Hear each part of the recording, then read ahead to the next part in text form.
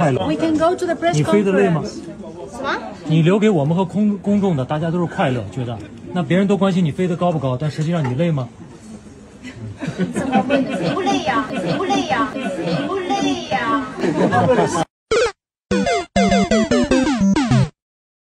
大家好，欢迎来到三小只 Talk 体育。作为奥运会松弛感元年，本届运动健儿们除了在赛场上赛出成绩、赛出精彩外，场下的采访也屡屡出圈。尤其是零零后运动员们接受采访时，不藏着掖着，主打一个有话直说的画风，被网友直呼专治矫情整顿采访。一起来看看他的精彩语录。全红婵精准打击每一个煽情时刻。巴黎奥运会毫无悬念摘金的全红婵，除了在线水花消失术外，赛后采访也是金句频出。当被问到这一届金牌和上一届金牌在自己心里的意义有什么分别时，全妹耿直回答：上一届金牌有点重，这一届感觉没那么重了。能说说这一届的金牌跟上一届的金牌有什么？你心里边的意义有什么分别吗？呃，我觉得上一届他上一届可能我有点矮吧，就感觉他太重了。哎，这一届我觉得没那么重了。当记者感觉他接受采访时，没有双人十米跳台夺冠时轻松了。全红婵表示，是因为陈芋汐不在。记者开玩笑问：“马上要十八岁了，会不会换一种风格？”全红婵说：“我做我自己就好了，不会因为年龄改变自己。”在记者问到别人都关心你飞得高不高，但实际上你累吗？时，全妹说出屏幕前所有观众的心声。这话问的谁不累呀？而面对记者说出我考考你，你总说小小巴黎拿捏拿捏，你知道用英语怎么讲吗？我教教你好不好？全红婵直接表示不会，我不想知道。拿捏，你知道用英语怎么讲吗？不会，不会，我教教你好不好？不用了，我不想知道，不想知道。拿捏？不仅如此，全红婵和她的教练陈若琳最近的互动可真是让人忍俊不禁。两人的幽默对话透出了浓浓的师徒情谊。全红婵调侃道：“全天下的男人都想娶我教练当老婆。”陈若琳则轻松回应：“我有事先走一步。”这种轻松的氛围不仅让人感受到师徒之间的亲密，更展现了他们的默契。全红婵和陈若琳的合作真是让人羡慕。每天训练的时候，两人总是互相鼓励，彼此支持，形成了一种非常温暖的氛围。红婵在水池边站着，脑海中浮现出每一次跳水的画面。他知道陈教练会在一旁认真观察，他感受到那种无形的支持，心里暖暖的。训练的压力似乎也减少了很多。如今，全红婵作为这支梦之队的新一代代表，正承载着前辈们的荣耀。想想她在比赛中那种从容的气质，像极了郭晶晶和伏明霞。网友们对此热议不断。有网友在社交媒体上说，全红婵简直就是新时代的跳水女王，她的每一次跳水都让我想起当年的郭晶晶，太厉害了。卫冕了女子十米跳台冠军，再加上新入手的女子双人十米跳台的金牌，全红婵在两届奥运拿到了三块金牌，她成为了中国奥运会历史上最年轻的三金王。在拿到三金王之后，对于全红婵未来的发展，很多网友也是特别的关心。虽然全红婵才十七岁，但是当你看看十七岁的张家齐在东京奥运会之后就开始慢慢淡出赛场，二零二四年巴黎奥运会的时候，张家齐更是只能出现在解说席上，你就知道中国跳水的竞争有多激烈。十七岁，四年之后，全红婵的年龄将来到二十一岁，这是一个什么概念呢？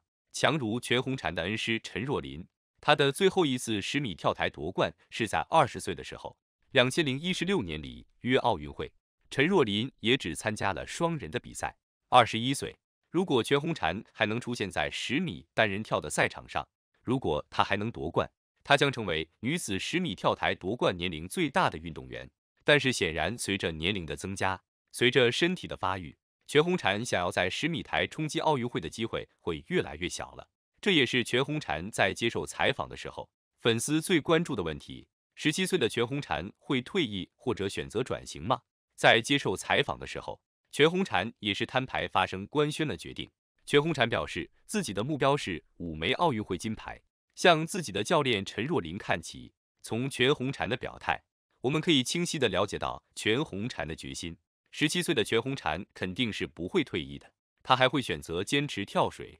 不过，全红婵选择坚持的话，未来她很有可能面临着专项的变化。为什么呢？随着发育，当全红婵的身高体重增加的时候，她在十米台的优势会越来越小。当年郭晶晶和伏明霞也是为了延长自己的运动生涯，从十米跳板专项到了三米跳板上。特别是郭晶晶，曾经获得了双人十米跳台世锦赛的郭晶晶，在改变三米板的时候收获了四块三米板的金牌。伏明霞也是获得了一九九二年巴塞罗那十米跳台的冠军后，一九九六年的亚特兰大奥运会，十八岁的伏明霞转攻三米板，获得了三米板的金牌。所以，当全红婵选择继续坚持的时候，全红婵很有可能在未来将面临着转战三米板的选择。这样的选择也会让她更有机会延续生涯，冲击更多的奖牌。而对于全红婵再次拿到奥运会冠军后，全红婵的粉丝自然是惊喜若狂，然后全红婵的亲友同样是无比的兴奋，全红婵的哥哥更是亲自飞到巴黎看妹妹拿冠军。除此之外，还有一些人对全红婵拿下冠军同样是感到无比的兴奋，只不过这些人却有着其他的目的。说难听点，就是蹭全红婵的热度。你说蹭热度就蹭热度，比如你作为网红，可以在社交平台上发布内容引流，可是不应该堵在全红婵的老家门口，搞得全红婵的父母、爷爷奶奶甚至外婆一家人都跟着被搞得头大。据报道，全红婵夺冠之后。她的老家门口每天都聚集了大量的人，仿佛和过年的时候差不多。村民们为全红婵夺冠放鞭炮庆祝，还有许多来自四面八方的网红来这里打卡拍照。我们单单从爆出的几张图片就能看得出全红婵老家门口的热闹程度。确实，这跟大过年没什么区别啊！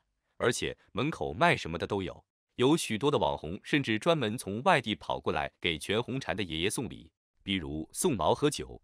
看着很像茅台，不知道的还以为这些网红真的下了血本了。对于如此疯狂的行为，全红婵爷爷起初自然是很开心，但是却不要礼物。可是随着送礼的人越来越多之后，全红婵爷爷不得已都把大门给关上了。可是纵使如此，依然无法让那些蹭热度的网红止步，人家依旧是在门口不停的喊，而礼物也是大量的堆在门口。据悉，全红婵的家人这几天确实是被折腾坏了。起初，爷爷是不停的招待门口的那些网红粉丝，毕竟那么大的年纪了，再加上天气这么的炎热，要招呼这么多人，谁吃得消？另外，我们还看到了全红婵老家门口还来了舞狮队。其实，这个是村里请来的舞狮队，目的就是庆祝全红婵拿下奥运冠军。因为全红婵老家门口聚集的人太多了。以至于全红婵的爸爸妈妈都无奈逃离去了宗祠，然后只有爷爷奶奶在家里看门。话说这些蹭热度的网红确实是不怕热，这么大热天都络绎不绝的赶来，而且这些网红确实是很过分的，因为全红婵爷爷关闭了大门，而这些网红居然直接朝着里头大喊全红婵，直到全红婵爷爷出来了才罢手。或许是因为全红婵爷爷奶奶这边关门不见客了。